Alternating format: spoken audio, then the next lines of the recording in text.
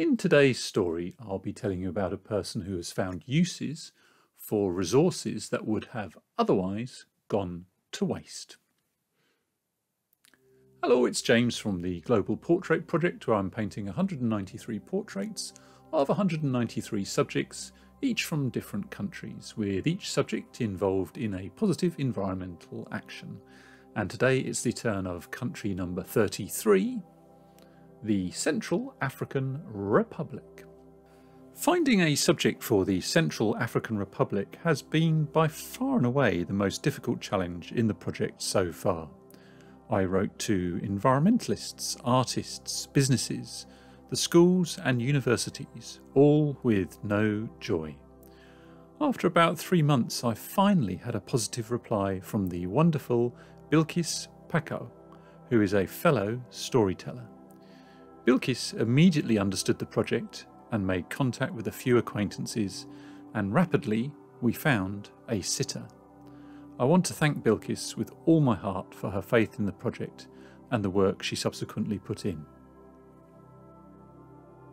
The subject for my portrait for Central African Republic is Marlene Gervil Yambala, who uses natural products, often which would have gone to waste, to make food and cosmetic products through her business Getex Agri. Central African Republic is a landlocked country in Central Africa. It is bordered by three countries beginning with C, two with S, and one beginning with D. The primary environmental concerns in Central African Republic include deforestation and desertification, pollution and cycles of political insecurity leading to inequality and poor governance of natural resources. Marlene has a 15 year background in account management. She identified the lack of processing of agricultural products in the Central African Republic and how, at the end of the markets or in the middle of the season, many vegetables and fruits were being thrown away if not sold. She taught herself about agriculture and became passionate about the subject. She decided to make transformation of this issue her goal, thereby giving life to quality products, add to the economy, and allow agricultural sellers to have a source of income that would otherwise have been lost. Through Getex Agri, the company she created in July 2020, Marlene transforms unsold fruit and vegetables into preservative free jams, juices, and seasonings. Getex has a range of cosmetic products made from the processing of shea butter, cocoa butter, and coconut oil, and provides employment for six people. Getex also has a range of snacks that it produces in its artisanal processing unit. They apply the nothing is lost, everything is transformed philosophy, recovering the plantain skins from the chips, which are then transformed into Mokpapa soap for all skin types. Getex Agri, Marlene's company, is part of Getex Group, which works in partnership with producers of cassava paste located around Samba, 22 kilometres from Bangui, the capital city, and employing a further 20 people. This cassava paste is also transformed into cassava sticks, cassava flour, and the alcoholic drink nguli from fermented cassava waste, corn, and millet. Getex promotes the vision of manufactured in Centrafrique through training women to produce quality cassava, allowing an income generating activity. Getex is committed to participating in the economic and social empowerment of Central African women. Getex products are priced to make them accessible to all, and there are Getex shops throughout Bangui, at train stations, the airport, hotels, and in the Biafrique Art Gallery of the Bangui Rock Club. Getex is founded upon selling quality products and respecting the environment, which is why they limit the use of plastic bags. Getex uses biodegradable, reusable packaging for its snacks, spices, and all its other products. For any purchase, a small bag in cloth is offered to the customer in order to make them aware of the protection of the environment.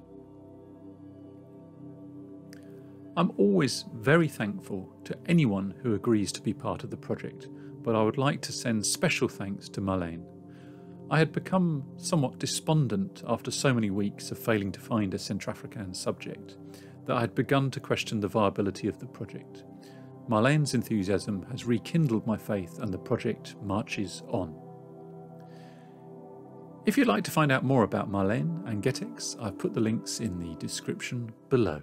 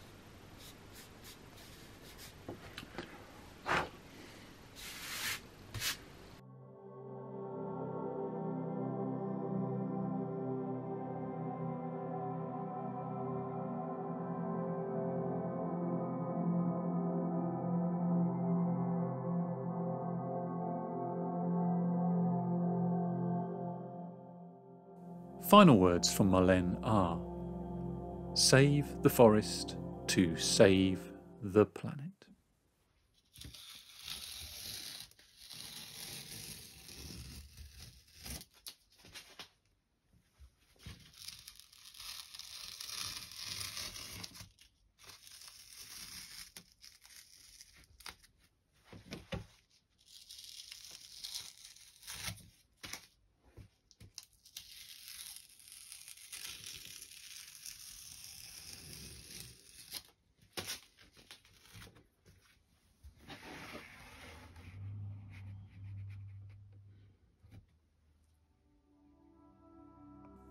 There is more information about this painting and how to get involved with the Global Portrait Project on the website and Instagram page, and the links are in the description below.